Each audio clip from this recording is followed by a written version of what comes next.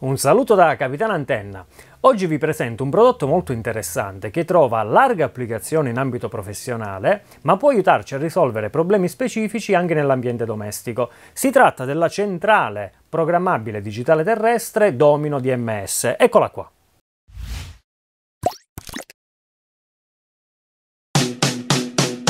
La centrale è dotata di un ingresso FM, quattro ingressi VHF-UHF, le due uscite di cui una test, uno slot per l'alloggiamento della SD card che potrà servirci ad esempio per copiare la configurazione della centrale su altre centrali.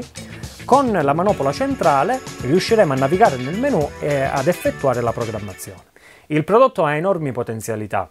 La centrale consente infatti di riorganizzare fino a 50 canali, grazie anche alla possibilità di spostarli in frequenza, consente inoltre di equalizzarli prima di distribuirli. La funzione AGC su ogni singolo MUX rende il prodotto anche idoneo alle zone di mare ma per meglio mostrarvi le potenzialità di questo prodotto faremo alcuni esempi. Supponiamo che i segnali ricevuti in antenna siano fortemente stratificati con importanti differenze di livello tra i picchi più alti e i canali più deboli. Utilizzando un classico centralino andremo ad amplificare tutti i segnali ricevuti ma in nessun caso riusciremo a risolvere il problema della disequalizzazione. Ciò potrebbe comportare in distribuzioni molto estese che i segnali più deboli giungano scarsi alle prese più lontane. Utilizzando la nostra centrale domino riusciremo a risolvere questo problema perché oltre ad amplificare i segnali ricevuti, gli stessi vengono equalizzati. Un altro caso in cui la centrale domino può aiutarci nel lavoro di installazione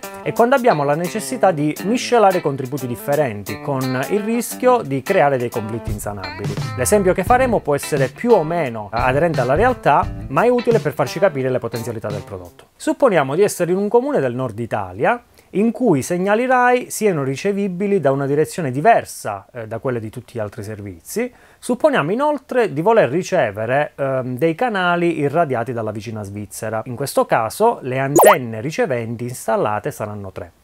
Come ciliegina sulla torta, supponiamo di voler miscelare i segnali provenienti da due modulatori RF, uno dei quali gestisce il DVR della videosorveglianza, l'altro collegato al decoder della PayTV. Casi come questo richiederebbero l'ausilio di filtri passa elimina canale e o di filtri convertitori e o di centralini con ingressi appositamente tagliati. Il lavoro di taratura e di messa a punto diventerebbe estremamente laborioso.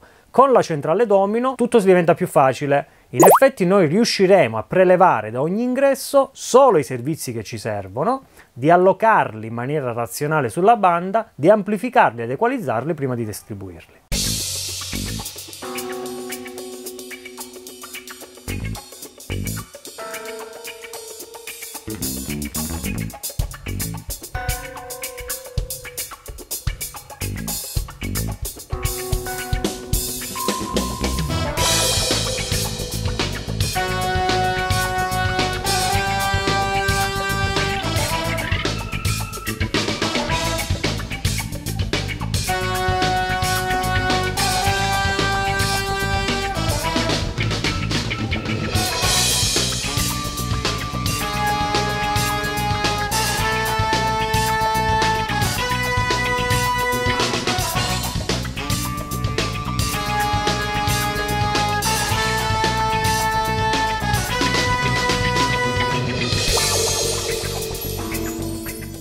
Bene, questo era solo un piccolo assaggio di quello che può fare il prodotto, ci sarebbero tante tante altre cose da dire, per cui se avete domande come sempre vi invito a contattarmi. Vi invito inoltre a visitare la nostra pagina Facebook su cui troverete il bellissimo gruppo Missione Digitale Terrestre dove potrete iscrivervi. Vi invito inoltre ad iscrivervi al nostro canale YouTube e a visitare il nostro e-commerce capitanantenna.it. Un saluto e alla prossima!